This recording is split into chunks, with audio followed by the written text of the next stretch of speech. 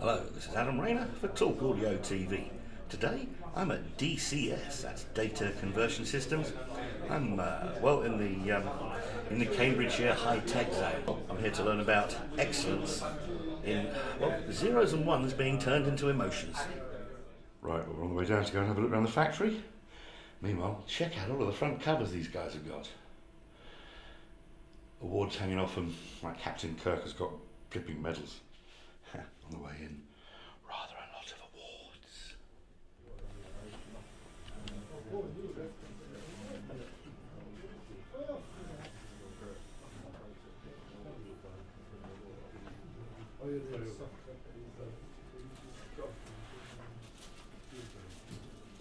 Yeah, so just behind me here, see this massive table? So this is our auto test system. Now, like I said, this goes back to what we did at the BBC and Telecom. These are put on auto test, they can take anywhere from, from four to ten hours to run. If anything fails, the production managers ping, um, and then it would get passed to service. So again, I mean, th- this one here, the Vivaldi Transport, you can see we've got, you know, the electronics are isolated from the power supplies. The power supplies are on their own sub chassis. Um, again, the mechanism is is isolated from everything else. So again, what Ben's doing here is just cladding the, the unit with uh, the finishing part. So there's, there's kind of units at various stages that have passed the various tests. So it's almost like you're filling a gap in the shell.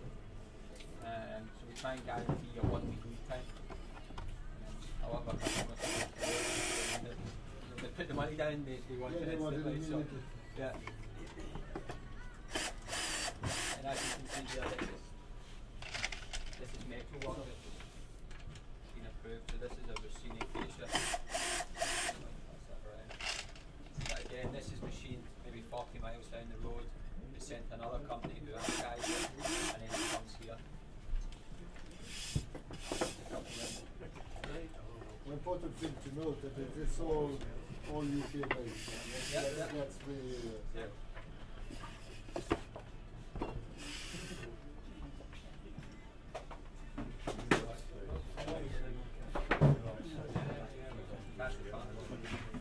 Do you remember the first Jurassic Park movie? Yes, There was a character in that called Donald Gennaro. Donald Gennaro. He was the uh, he was the accountant. He was. Yeah, remember the kid who says, "Look, I found these under my seat." He said, "Were they heavy?" yes, and they're expensive, so put them away. I can Yeah. see the way you're handling those big chunks of aluminium. That Yeah. DCS kit has a massive Donald Gennaro rating. Absolutely, absolutely. Especially like pieces like this. Have a look at the camera. So, yeah. That is that's that's a piece of flipping monstrously heavy. Yeah. Is that like card from billet or is it cast in the first place? Or? Uh, well, it's, it's literally it used to be like a big piece of sort of aluminium, like the alloy that you use. Yes. And then it's all machined out. You know, all goes through the process, comes here, gets inspected yes. um, to see if it's you know suitable, and then it goes off to be anodised.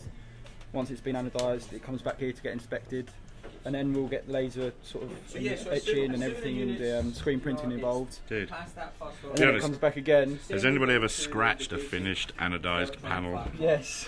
That was so cool of me. I was just knew it had to happen. Yes, cool, of course, You could lie about it, or you could pull that rueful face No, no, it and go, happens, "Yes, it but it, happened." it, it always gets found, so you know, Yeah. it, it goes through a lot of inspections, so it gets found. Everything leaves the place perfect. Thank you, sir. You're welcome. Yeah. 71 steps that these guys need to follow in order to pass it. And that, that's from testing every input, testing the balanced out, the unbalanced out, um, the upsampling. So that's really when you're, you're pressing buttons and you're using it as a user would. You're not doing critical listening, but you are listening for any pops or ticks or um, strange things that, that could be happening on, on the output stage. Um, so that's another kind of method of quality control. So we've got the automated tests. Um, again, all those test results are stored, but then you've got the user testing. Um, so that's done here. So we're actually just rebuilding this station so we can have two running in parallel. Again, you know, with Vivaldi, for example, we replaced the network board with a, an upgraded one. So that kind of two-way feedback of, of how that could be done um, made things much easier when we did roll it out. So I'll let Andy talk through. He's got hugely expensive test equipment here that does things I don't really know about. Um, but they're on the balance sheet, so they must be. yeah, this will play CD, SACD, it's got the Valley Wingat, the Valley Control Board. People will, will take on, yeah. Yeah. I'd have to say. That was the idea, was let's pilot the Yeah. technique and with prove that we've got the supplier, so if we can do it in a limited edition product, it's easy to manage. And if it takes off, then for future It's a good products. idea to, to, to Yeah. Conversar depois esse variante It could be done actually, apparently these are the two models. Andy just pointing out that he's actually got a badge, and Chris on the uh, left of your picture. I just had to ask these gentlemen's names again. Um, guys, you are the right and left hand sides of the effective brain of DCS, as we've just been told upstairs. Apparently so, yes. So, and uh, you're in charge of the uh, hardware, as the electronics and I'm in charge of the software. the software. Sorry, other way around. Duh. Yeah, the better easy stuff. Yes. and you, sir, of course, in charge of The, the, the hard stuff. The, stuff that goes- difficult stuff. stuff that goes inside it. Yes, yes. I guess it's kind of the view that you know you wouldn't actually have a car to ride in unless that man painted it for you, though. Really, you know, it's like I don't know, I like the rustic look. you do. as long as it's fully in binary. So, uh, and and you were telling us how many years between you with DCS?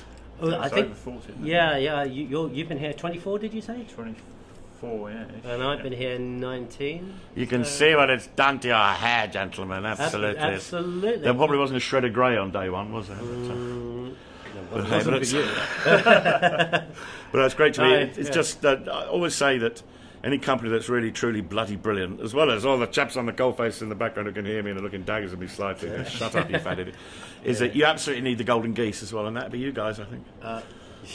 Is that when you're going to kill us? Uh, no, no, just no, no. I want the golden eggs, and so does the company, and so does DCS, geezer. So moted be for the this point. Cheers. Thanks ever so much, guys. No, that's uh, it's just great to find out a bit about what you do. Let's go and have a little listen in your fabulous listening room because I gather that's a bit of an event. Oh, absolutely. Absolutely. yeah. So, thank you.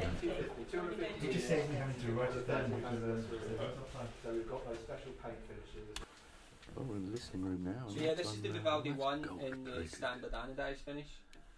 Um, so you saw the white in the back Very out there. But Violently it stands a little taller than speakers. the transport. Beautiful, purpose-built listening room.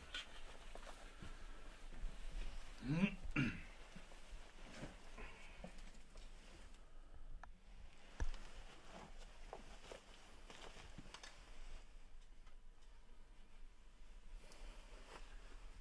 We okay to dim those lights? Yes, dear boy, thank you. Alright. So first thing I'm going to play is just something from Tidal.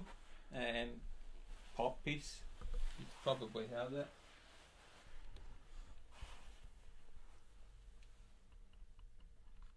That's my visit to uh, DCS today. I can tell you that having sat in that listening room, the sheer quality of that massive pair of Wilson speakers was breathtaking, and the sound of the uh, front end incredible.